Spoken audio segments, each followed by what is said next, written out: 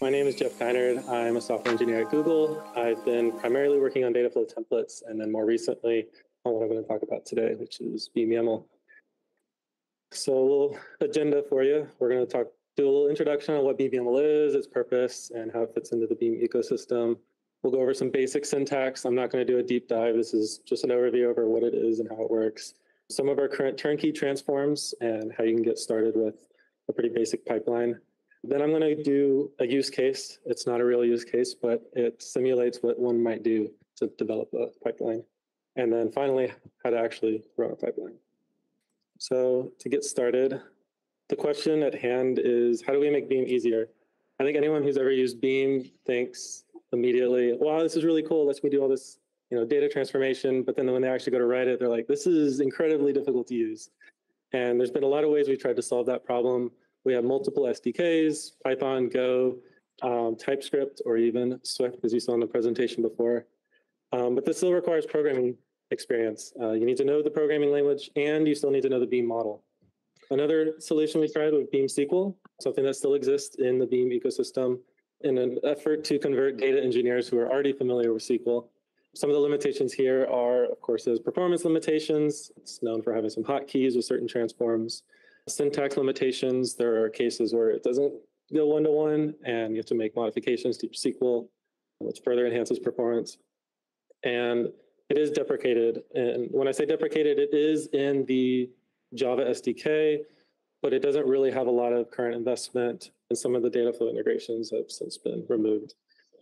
And last but not least, Dataflow templates. This is a great solution for those that can find a template that fits their use case. This is limited, of course. Most templates go from some source to some sink, PubSub to BigQuery, GCS to PubSub, whatever. And that's great if it works for your use case.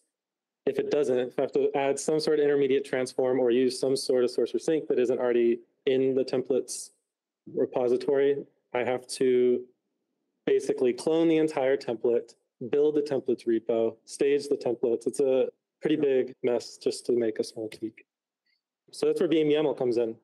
Beam YAML is Beam's newest SDK, and I call it an SDK, but one major difference I want to point out is it's not a programming language. It's very much a descriptive format, if you will.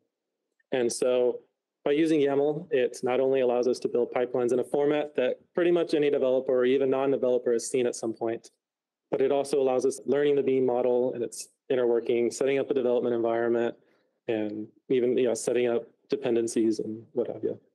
And then it also allows you to easily copy, modify, and share these pipelines. You can create little YAML snippets, share it across your org uh, without having to mess around with programming languages. So some of the goals of Beam YAML's design, it is a schema-first design. Essentially, if you've heard of the Beam row, it's just a way to structure your data such that it basically models that of like a JDBC database row or an Excel spreadsheet row. But we do want to allow for schemaless. We'll allow for transforms that don't necessarily have to have a schema. We want to deliver the main Beam functionality. This means IOs that are already built into Beam, windowing, turnkey transforms, um, all the things that make Beam great. We want to have robust error handling on a per transform basis. This means if my transform, you know, has some sort of error, we want to be able to pipe that into a downstream transform with relative ease. We want to have easy syntax, syntactic sugar, all the things to, that, that makes constructing it actually an easy process yeah, built-in transforms. We want to have any of the built-in transforms already in Beam um, supported, or at least the major ones, um, with even some specialized ones just for Beam YAML. One minor note, because we're supporting multiple IOs, multiple transforms, we do have multiple implementations, sometimes in Java and Python, and Beam YAML does want to abstract this away and treat it as just, it's a transform, it's a black box. Don't worry about its implementation. So let's yeah get started with a very simple example. So say I have a PubSub to BigQuery pipeline, like here, like I have here, visualize on the write. I can specify my source, read from PubSub, and my sink right to BigQuery. Every transform will have a configuration for PubSub. You know, it might be your subscription, your format, your schema, and BigQuery, your table or your query, and you'll specify, specify those accordingly. But this looks very much like a template. We have pub PubSub to BigQuery templates. So what makes this different Unlike a template which would only ever do PubSub to BigQuery, I can go ahead and I can show I can show a transform in between relative ease. I just submit a new block and it should just run. Many of your transforms can be chained, so this just means like I can make this as long as I want. I can just keep chaining transforms like this indefinitely. Just keep specifying the type of transform. All of our previous examples showed linear cases, but what if I want to create more complex transforms or pipelines? Maybe I want to join multiple sources. We do have syntax for that. You would just name the input wherever you're reading from. Like I said before, we want to have sophisticated error handling. So in this example, let's say I have my map transform. Oh, that's actually an error. So imagine the error handling tag here is actually under map to fields.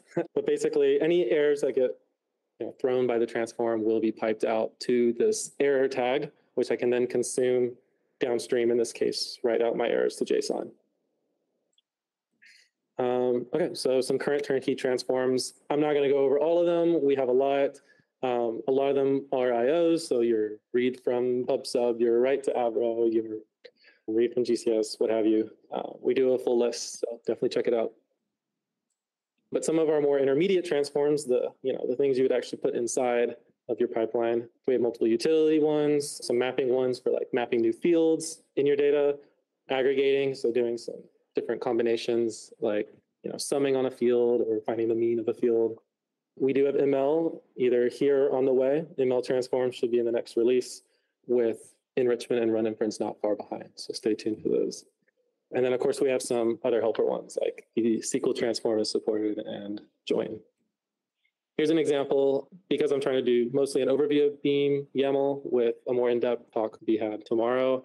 I'm not going to go over the inner workings of how the transform works, but as you can see, it's as simple as defining the config. So for map to fields, that's specifying a language and its fields that you're trying to map. And we try to keep it as YAML friendly as possible with any return key transforms. Okay, so I do want to go over a use case and like how, as a developer or even a non-developer, but someone that's familiar with data or at least their data, would go about actually constructing one of these pipelines. So in my fake use case, I'm a department store, JC Penney's clothes, what have you. And let's say I have a database that stores every transaction that you know we've ever made.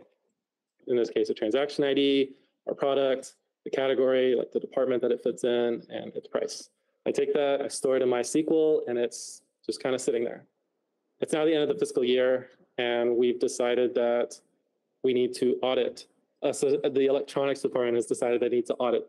And so basically I need to take my data, I need to pull out any of those rows that apply to electronics. You can see some of them on here. And then I need to write out to a CSV. This is government work, so it's not high tech. So how would this look in Beam YAML? I would read from MySQL in this case, filter, again on electronics, and then write out to a CSV.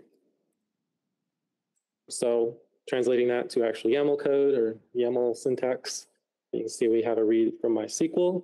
My configuration is my connection details. So in this case, that would be URL, my table, my login credentials. From there, I'm passing it into a filter transform. Filter and some a lot of our other mapping transforms do support multiple languages, but here I just decided to go with Python to keep it simple. So I'm filtering based on if my category is electronics. Um, so that's what's happening there. And then finally, I write out to my sink. In this case, it's CSV. So I just define my path, which in this case, I just called it electronics.csv. So how does that actually look when I run it? Well, taking the data that we saw before, I should not see anything other than electronics on this table, which I don't. So we've successfully filtered out all of our results. All right, so fast forward. Now it's the beginning of the next fiscal year, and we've decided that we need to order more inventory. So we need to figure out how much product that we sold last year so we know how much to buy for this year. So because YAML does allow you to just insert new transforms without having to like rewrite your whole pipeline, we're able to just take, you'll notice, the three previous transforms and just stuff a transform in between. Um, so in this case, we want to do an aggregation. We want to count the number of products that we sold per product. So not only filter for electronics, but then count each individual product. So walking through that, we've got, again, the read from MySQL with his login credentials. We then pass that in to filter, where we filter on electronics. Here's where it gets a little bit more complicated. This is our combine, which is kind of our one-stop shop for aggregations. In this case, we're grouping on product name. So if I kind of flip back to our data, our product name is the actual like name of the product, right? So we're grouping on that. For each product name, we're going to do a combination, which is what connect tag is combine. And we're going to say we're adding a new field, the number sold, and that's going to take in our product name and count. So you'll see the function is count, the value is product name. There's some syntactic sugar to make this a little bit simpler. We could actually just inline it on num sold, but we'll see that later. And then of course, writing the CSV. So similarly to the last example, we have our already filtered data on the left there with our aggregated data on the right. So let's see, we got two headphones here. So we should have two headphones on our right table. We do. We only have one monitor, so we have one on the right side.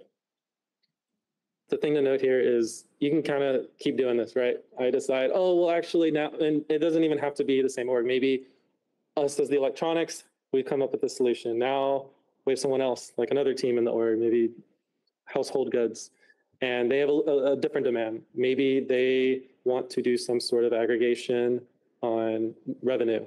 So maybe they have another table in Postgres that describes, you know, for each product ID, this is how much it cost us, um, so that they can do aggregations to figure out like how much revenue they got.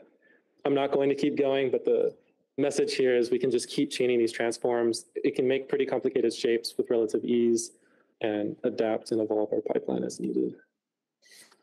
So kind of finally, how do we actually run a pipeline? There's multiple ways. If you're a Dataflow user, we have a nice and friendly gcloud command.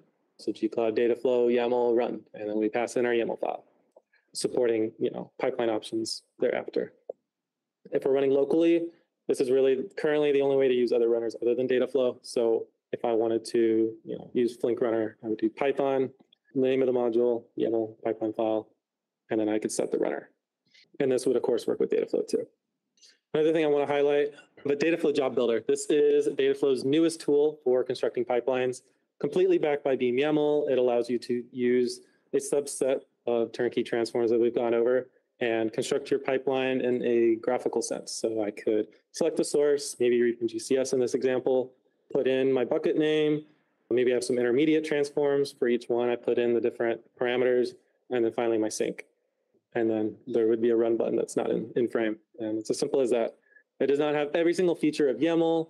I'm giving a talk tomorrow that goes over some of the more advanced features of YAML that are not fully included as of now, at least. But this is a good way to get started and even has support for loading YAML files and saving your pipeline to YAML. Some more information, getting started, docs, catalog, these slides. So check that out. And then, yeah, that's that's it.